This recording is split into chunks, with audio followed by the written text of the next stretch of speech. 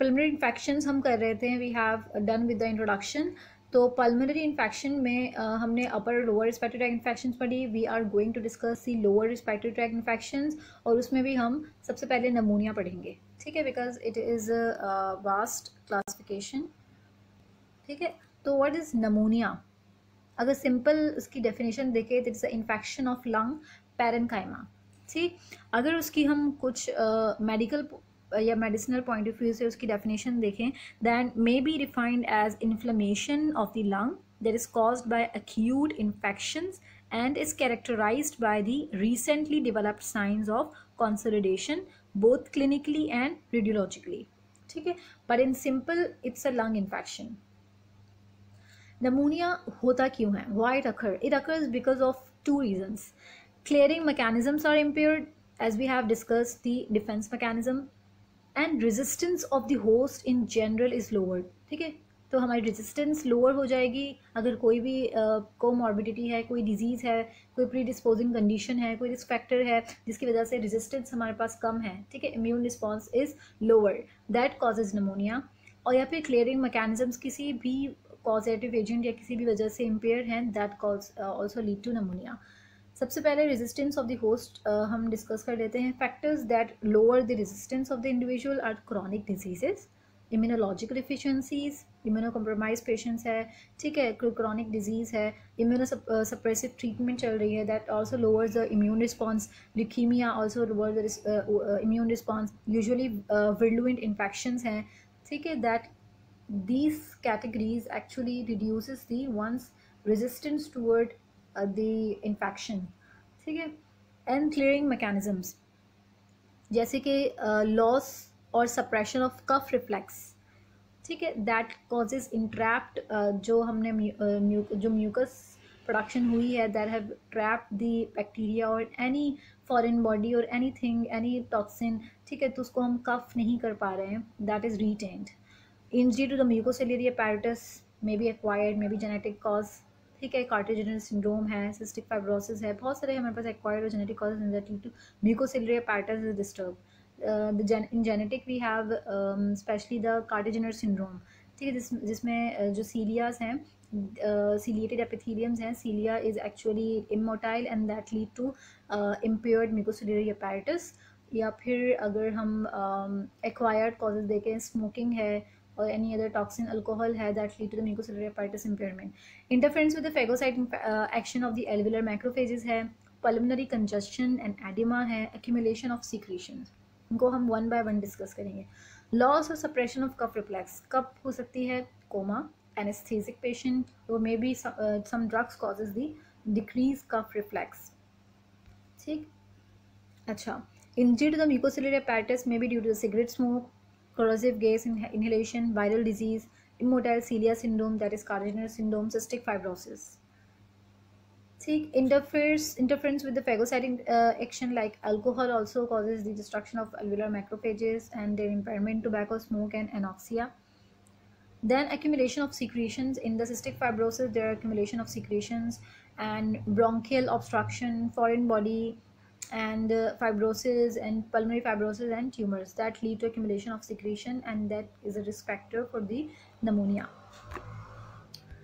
अच्छा तो classification of pneumonia pneumonia को हम अगर वैसे तो उसकी बहुत सारी classification on the basis of morphology on the basis of anatomic site on the basis of causative agent on the basis of anything लेकिन जो तीन मेन कैटेगरीज है, जिनको हम इजीली अंडरस्टैंड कर सकते हैं इजीली उनको हम पढ़ सकते हैं कैटेगराइज कर सकते हैं they are three main classification community acquired pneumonia nosocomial pneumonia pneumonia in immuno compromise patients ठीक है?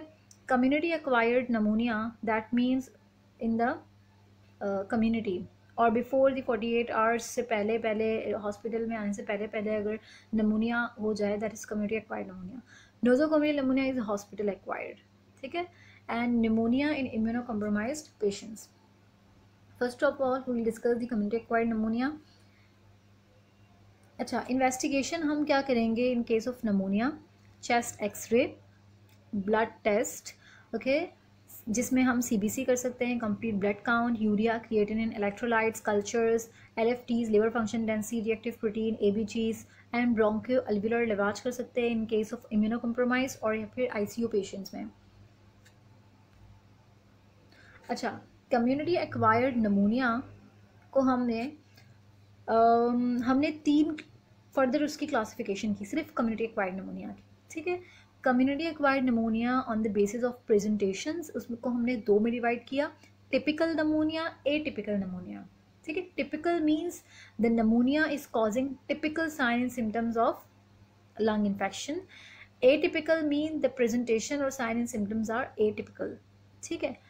Community acquired pneumonia on the basis of anatomic site जहाँ पे वो इन्फेक्शन है. ठीक है? सो उसमें भी हमारे पास दो टाइप्स हैं lobar pneumonia involving the whole lobe और lobular broncho pneumonia the patchy consolidation of the one lobe ठीक है? जबकि हमें पता है कि लोब्यूलर ब्रोंको नमोनिया भी that can lead to lobar pneumonia अगर वो कॉन्सोलिडेशन जो है वो अप्रोक्सीमेट कर लें। Organism specific community wide pneumonia is also there may be staphylococcus pneumonia streptococcus pneumonia haemophilus influenza pneumonia klebsiella moraxella catarrhalis legionella mycoplasma pseudomonas aeruginosa and pneumocystis carinii इन सबको हम अलग अलग डिस्कस करेंगे। ठीक है so the community acquired pneumonia has been classified on the base three three broad categories में हमने उसको क्लासीफाई किया। Community acquired pneumonia on the basis of clinical presentation on the basis of the anatomical site and the organism specific सबसे पहले उसकी हम presentation के base पे जो क्लासिफिकेशन हमने की है, उसको हम डिस्कस कर लेते हैं। ठीक है? जो ये हमारी प्रेजेंटेशन होंगी, ये तमाम के तमाम कम्युनिटी एक्वायर्ड नमूनिया में होंगी, जो ऑर्गेनिज्म स्पेसिफिक भी होंगे, उसमें अगर हमारे पास कुछ organisms atypical pneumonia cause करवाएँ तो presentation will always be the same तो आगे जो हम ऑर्गेनिज्म स्पेसिफिक नमूनिया डिस्कस करेंगे, उनमें हम clinical findings and all that हम उनको बार बार रिपीट नहीं करेंगे because all the atypical pneumonia, जितने भी ऑर्गेनिजम्स एटिपिकल नमूनिया कॉज करवाएँगे, उनमें फाइंडिंग्स सेम होंगी। ठीक है? जो टिपिकल नमूनिया ऑर्गेनिजम्स करवाएँगे, उनमें यही फाइंडिंग्स होंगी। ठीक है? और लोबार और ब्रोंको नमूनिया ऑब्वियसली उनमें भी यही तमाम सिम्टम्स होंगे, यही तमाम फाइंडिंग्स होंगी। उसको हम on the basis of morphology या फिर एनाटमिकल साइट हमने उसको सिर्फ़ और सिर्फ़ क्लासीफाई किया है। ठीक है?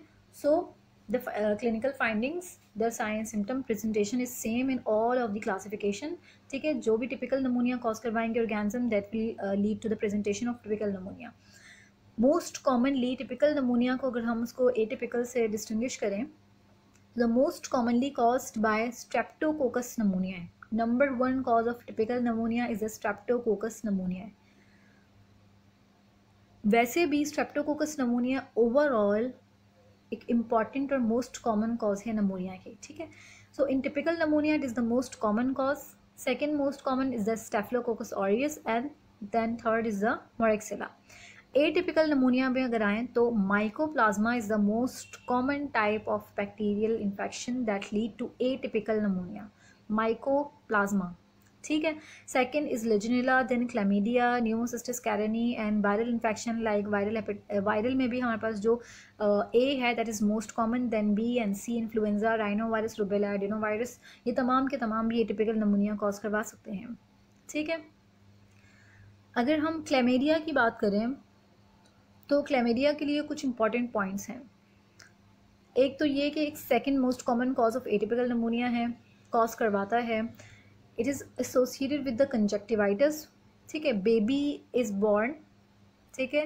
And it has the presentation within within a day like conjunctivitis and he और शी इज़ ए फिब्राइल उसमें कोई फीवर नहीं है वीजिंग है एंड स्टेकहेटो कफ है। ठीक है? तो उसमें ये एक फॉर्म ऑफ़ कफ है जो बेबीज़ प्रेजेंट करते हैं। अगर और the newborns is actually acquire this infection through the birth canal and is the most common second most common cause of atypical pneumonia ठीक है, is associated with conjunctivitis within a day after delivery new born through the birth canal finding staccato cough no fever is afebrile and Beijing and treatment will be erythromycin so फिर से हम आते हैं। Typical pneumonia sudden onset है। ठीक है? तो typical जो नमोनिया के प्रेजेंटेशन होंगे there are sudden onset productive cough ठीक? Because of consolidation then dyspnea is there pleuritic chest pain है फीवर है राइगस है night Suez and hemoptysis can also be there atypical presentation हम उसे atypical क्यों करें? Because the presentation are atypical ठीक है ना? तो उसमें क्या है? ग्रेजुअल ऑनसेट है क्रॉनिक है। ठीक है? एक बहुत ही क्रॉनिक हिस्ट्री होगी। सडन ऑनसेट नहीं है कि आज, कल रात मैं बिल्कुल ठीक था या ठीक थी, फिर अचानक से मुझे बहुत ज़्यादा फीवर होने लगा और ये ये ये ये बिल्कुल एक सडन ऑनसेट है दैट इज़ टिपिकल नमूनिया जो प्रेजेंटेशन हमारी क्रॉनिक होंगी, हफ्तों की, महीनों की अगर कोई हिस्ट्री होगी that is gradual onset that is atypical pneumonia that can present with dry cough because inflammation in the alveolar septa interstitium not in the alveoli dry cough क्यों है? बिकॉज़ इन्फ्लामेशन जो है एलवुलाई के अंदर नहीं है, बल्कि इंटस्टिशियम में है और एलवुलर सेप्टाज में है. There will be myalgia muscle pain headache and G I symptom तो ये ए टिपिकल सिम्टम्स के साथ एक क्रॉनिक हिस्ट्री के साथ पेशेंट आ सकता है। ठीक है? अच्छा कुछ और डिस्टिंग्विशिंग फीचर्स एग्जामिनेशन पे टिपिकल नमूनिया हमें एग्जामिनेशन पे कुछ पॉइंट्स दे सकता है बट नॉट ए टिपिकल तो एग्जामिनेशन में हमें क्या मिलेंगी? टिपिकल नमूनिया की dullness to percussion bronchial breathing ठीक है? And vocal increase vocal fremitus egophony whisper pectoriloquy because of consolidation ठीक है? ये तमाम के तमाम जो एग्जामिनेशन पे हमें अपेयर होंगी these are all the medical terms तो इनमें क्या होता है कि in dullness to percussion percussion में हमें डल मिलेगी बिकॉज़ ऑफ़ कंसोलिडेशन हमें पता है अगर अगर एयर नहीं है कंसोलिडेटेड है that lead to dullness and air because air हो तो that is hyper resonant and dullness is when we have solid object or consolidation so typical pneumonia is uh, actually having consolidation that why dullness to percussion bronchial breathing normally हमारे पास obviously bronchial breathing है लेकिन that is not seen it is not heard so loud ठीक है वो एक normal sound होती है लेकिन वो इतनी लाउड नहीं होती कि वो ऑब्वियस हो so in case of typical pneumonia it is bronchial breathing is obvious increase vocal fremitus vocal fremitus क्या होते हैं fremitus are actually tracheal and vocal तो इसमें क्या होता है कि हम कोई फ्रेज रिपीट करवाते हैं पेशेंट को and then we causes percussion on the chest wall और होता क्या है कि जब वो फ्रेज़ वो रिपीट करता है usually ninety nine ninety nine we repeat the patient तो उसकी वजह से क्या होता है कि वो जब वो बोल रहा होता है दैट चेस्ट वॉल से वाइब्रेशन जो है वो uh, जाती हैं हमारी पेशेंट uh, के लंग्स में एंड uh, वो वाइब्रेशन जो है वो डिस्पर्स हो जाती हैं and vibration is actually felt when we tap on the chest wall ठीक है? So normally vocal firmitis are uh, there but it they can be absent decrease or increase. ठीक है ना? इंक्रीज है vocal fremitus in case of the typical pneumonia because of consolidation consolidation क्या करता है कि वाइब्रेशंस को जल्दी जल्दी पास ऑन करवा देता है। ठीक है? उसकी ट्रांसमिशन बहुत ज़्यादा हो जाती है रैपिडली हो जाती है that cause increase vocal fremitus egophony the same ठीक है? तो ईगोफोनी इज़ एक्चुअली क्या है कि um, um, whisper pectoraliki is, is, the same as the vocal fermitis these are actually the trans transmission uh, of the uh, voices by the through vibration and we can felt the vibrations on the chest wall when we causes uh, when we uh, per percussion when we do percussions on the chest wall of the patient ठीक है तो egophony क्या है um, we say the patient to say a and we itself as a doctor we heard them as E sounding E ठीक है? तो ये हम क्लियर uh, एग्जामिनेशन में देखते हैं।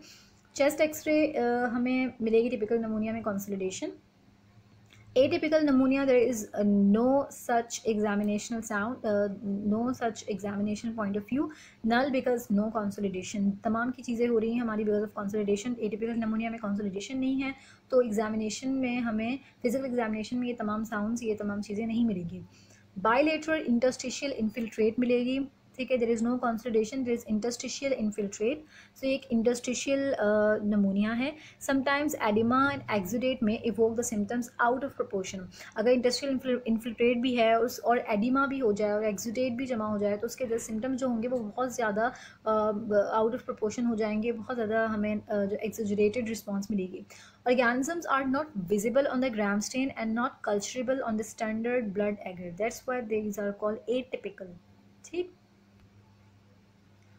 So okay vocal tactile fremitus तो मैंने ये कुछ यहाँ पे डाल दी हैं ताकि ये आपको थोड़ी बहुत समझ में आ जाए। अच्छा पैल्पेबल थ्रिल वाइब्रेशन ट्रांसमिट ये है क्या? जब हम पैल्पेट करते हैं पैल्पेबल थ्रिल जो वाइब्रेशंस हैं they are transmitted through the chest wall when patient sense E और वन टू थ्री और नाइन्टी नाइन तब वो पेशेंट कुछ बोल रहा होता है, कुछ फ्रेज कर रहा होता है तो vibration are transmitted through the chest wall to the lung ठीक है? So vocal fremitus tactile fremitus ये होती हैं।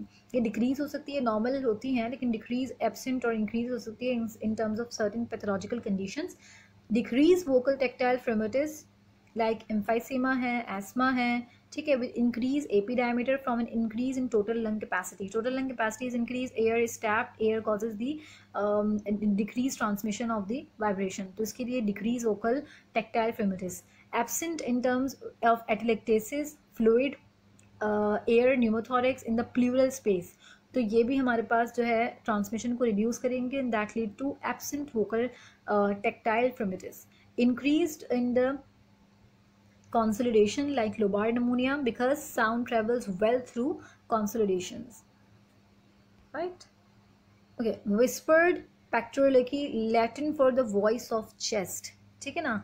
So clear and intelligible words like patient whisper one two three so these are whisper sound egophony Greek for the voice of goat patient saying E sound like A ठीक है? Okay so the next classification was the anatomical basis of the anatomical site या morphological features तो उसमें हमने कहा कि lobar pneumonia है और लोबुलर ब्रोंको नमूनिया, या फिर सिंपल ब्रोंको नमूनिया है। लोबार नमूनिया में हमें क्या मिलेंगी?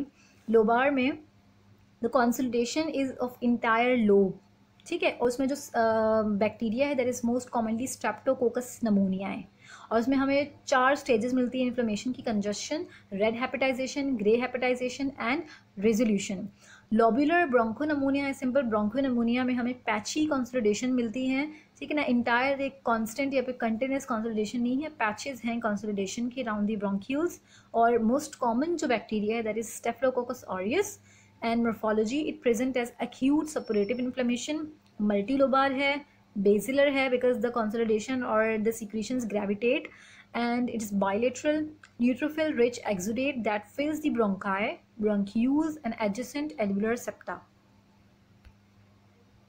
अच्छा what is congestion the four phases of lobar pneumonia है कंजेशन फ़र्स्ट फ़ेज़ कंजेशन में क्या होता है कि वेस्कुलर इंगोजमेंट होती है जिसकी वजह से हाइप्रीमिया हो जाता है intra alveolar and edema with in few neutrophils and the lung appear as heavy boggy and red ठीक है? रेड हेपेटाइजेशन सेकेंड स्टेज में क्या होता है कि न्यूट्रोफिल्स और आरबीसीज होती हैं और फाइब्रिन होता है वो फिल कर देते हैं एलिवेलर स्पेसिस को। हिमरेज हो जा is there and with liver like consistency and airless massive confluent exudation ठीक है ना? न्यूट्रोफिल्स हैं आरबीसीज एंड फाइब्रिन है जो कि एल्वेयर स्पेस को फिल कर रही है। हेमोरेज है जिसकी वजह से हमें एक लिवर लाइक कंसिस्टेंसी मिल रही है। तो उसकी वजह से हमें जो लिवर uh, लाइक जो एक लंग दिखाई दे रहा है we call it red hepatization this is the second stage of inflammation in the lobar pneumonia. Grey hepatization में क्या होता है कि ग्रेश ब्राउन ड्राई अपेयरेंस होती है, ठीक है? डिग्रेडेशन ग्रे क्यू है? Because of degradation of RBCs and persistence of fibrinosuppurative exudate fibrin है, ठीक है? डिग्रेडेड आरबीसीज हैं, इसकी वजह से हमें ग्रेश अपेयरेंस मिल रही है। We call it as grey hepatization resolution is healing in resolution will find healing healing in form of granular semifluid debris नज़र आएगी due to enzymatic digestion which is then ingested by macrophages. In the right side we have lobar pneumonia, the whole lobe is involved as a consolidation. In the left side we have bronchopneumonia, there is patchy consolidation of a single lobe ठीक है this is the broncho pneumonia patchy consolidation नज़र आ रहे हैं हमें और ये है लोबार नमोनिया जिसमें स्टेज कौन सा है grey hepatization this is lobar pneumonia the A we have acute pneumonia जिसमें क्या दिखा रहा है? Congested septal capillaries and extensive neutrophil exudation into the alveolar corresponding to early red hepatization fibrin nets and have not bare form ठीक है तो इसमें हमें क्या नज़र आ रहा है? Extensive neutrophils you can see that extension of the neutrophil the septal capillaries ठीक है में जो ये पिंक वाले एरियाज़ हैं, ये कंजस्टेड है हमारे पास न्यूट्रोफिल से। And in the B we have early organization of intra alveolar exudate ठीक है? आपको जो है ये पोर्स ऑफ़ कॉन्स हैं। ठीक है? पोर्स ऑफ़ कॉन्स में हमारे पास कंजस्शन है। ठीक?